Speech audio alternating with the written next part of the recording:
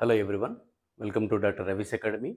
In today's virtual class, you will be understanding how to calculate the moment of inertia of a parabola about x-axis. To calculate this, let us consider an element vertical strip at a distance x from the y-axis. Elemental thickness is dx and height is y. So let us redraw this element. This is an element with the thickness dx, height to y. So this is your element. Write the expression for the elemental moment of inertia of a rectangle. You are writing the expression for i y. It is elemental d i y is equals to the formula is bh cube. It is bh cube by 3 about the base.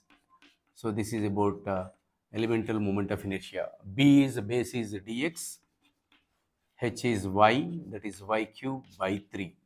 So here substitute the y value it is uh, kx square whole cube that is y cube into dx by 3. So after expansion it is uh, k to the power 3 x to the power 6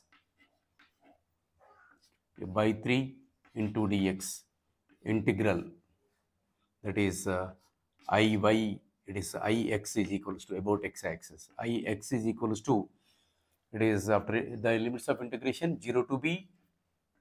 And uh, this value k value you can substitute and k to the power 3 by 3 this is x to the power 7 by 7 and uh, the limits are uh, 0 to b. So this becomes k value is as you know that it is uh, at y value h it is x value is b. So k is equals to h by b square. H by b square is k value.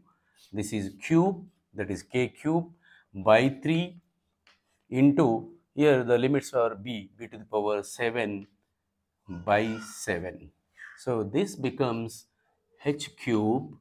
That is uh, b square whole cube. That becomes 6 that is b to the power 6 into it is b to the power 7 divided by 7 3 so that is 21 so the answer is uh, here bh cube by 21 thank you